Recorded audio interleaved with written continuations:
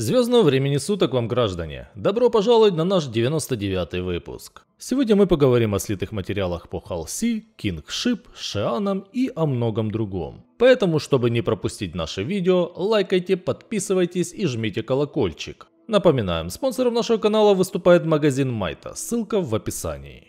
На этой неделе разработчики снова решили пофилонить и не выпустили инсайт, поэтому, как и в прошлый раз, начнем сразу со Star Citizen Live. В этом выпуске ЦИГи показали процесс тестирования звуковых эффектов внутри Lambert Editor. Для FPS собран виртуальный полигон с тиром для тестирования вооружения. На протяжении всего выпуска они создавали и тестировали звук для вооружения с нуля. Этим ограничился интересный материал выпуска. Стартовала новая распродажа от CAG. На этот раз она посвящена... День взятия Бастилии. В общем, затронули два реальных праздника – День независимости США и День взятия Бастилии, и один лорный – День императора Озаи, который отмечается в июле. На этот раз выпустили на продажу два пакета. Пакет независимости за 675 долларов, в который вошли Constellation Phoenix, Apollo Triage, Cutlass Blue, Angar Revel and York и 12 месяцев страховки. И пакет свободы за 390 долларов, в который вошли Crusader Mercury Star Runner, Misk Razor, Tumbril Cyclone RC, Aeroview Ангар и 12 месяцев страховки. Также все эти корабли и транспортное средство можно приобрести отдельно, но уже со страховкой в 6 месяцев. А если у вас есть ненужный корабль или транспортное средство с пожизненной страховкой, вы можете улучшить его в один из этих кораблей, за исключением Constellation Phoenix, сохранив пожизненную страховку. CIG запустили вторую волну тестов на ПТУ. В ближайшее время ожидаем общий доступ, а далее Live.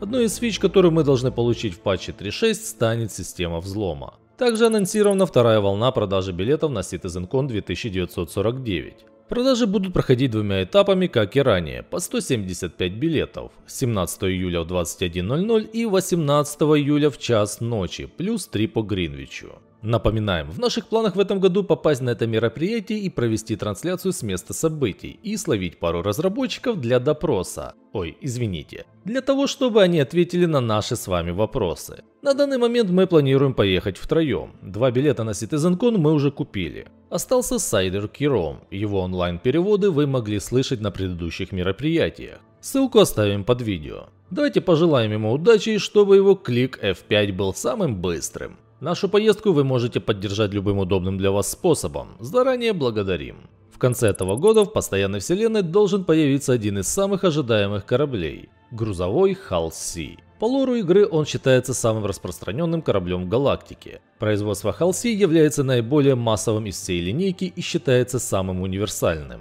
Это промежуточная модель между маленькими грузовыми кораблями для одного человека и массивными суперфрактовиками. Бекеры были настолько активны в поисках так ожидаемого ими грузовика, что начали копать логи игры. Так в интернете и слили скрины Халси. На этом скрине мы с вами наблюдаем жилой отсек для персонала корабля. Это скрин гальюна, а это коридор со спасательными капсулами. Не знаю, увидим ли мы его в конце 2019 года или в первом квартале 2020 года, но мы точно увидим его до релиза 42-й эскадрильи, так как этот корабль является неотъемлемой частью сюжетной кампании. На этом сливы не закончились. Сколько вы знаете инопланетных рас, которые будут в постоянной вселенной по лору? Все верно. Помимо воинственных вандулов, с которыми мы будем воевать в 42-й эскадрилье, есть еще Бану, специализирующиеся на торговле. Предположительно уничтожившие сами себя примерно 300 тысяч лет назад в гражданской войне гадесианцы. Тыварины, созвучны с турианцами из Mass Effect, проигравшие войну людям и ставшие частью ОЗИ. Кстати, недавно мы выпустили видео по серии Космо КБ, посвященной вселенной Mass Effect, ссылку оставим под видео. Картаки, с которыми у нас не установлен контакт из-за конфликта с шианами. И конечно же сами шианы, расчетливая инопланетная раса, которая находится в мире с человечеством. Именно этот скрин нам попал в руки. Предположительно это и есть шиан.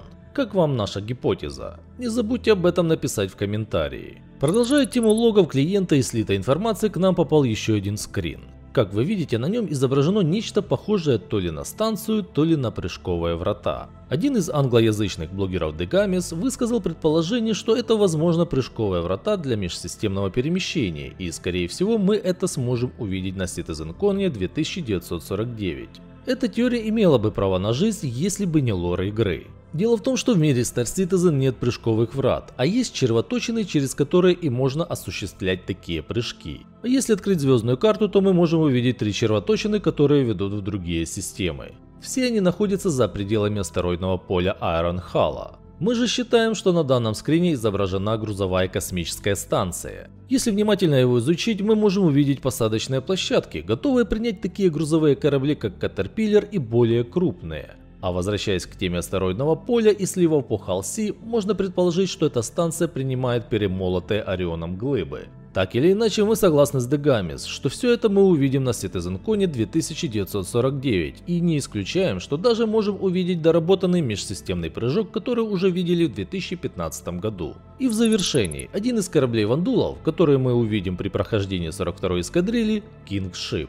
Его скрины из логов клиента также слили в интернет, и сейчас вы можете их наблюдать.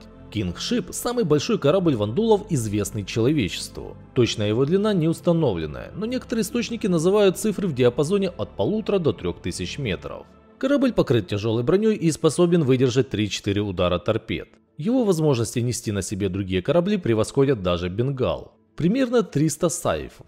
Если вы планируете заниматься частными перевозками на Халси, ждем в нашей организации. Для нас главное ваше желание и адекватность. Также регистрируйтесь по реферальному коду, размещенному под видео и получайте 5000 внутриигровой валюты. На сегодня все. Спасибо, что были с нами.